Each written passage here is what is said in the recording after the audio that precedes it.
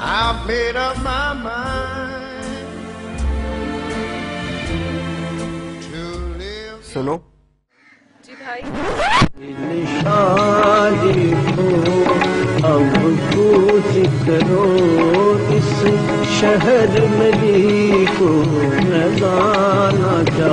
So,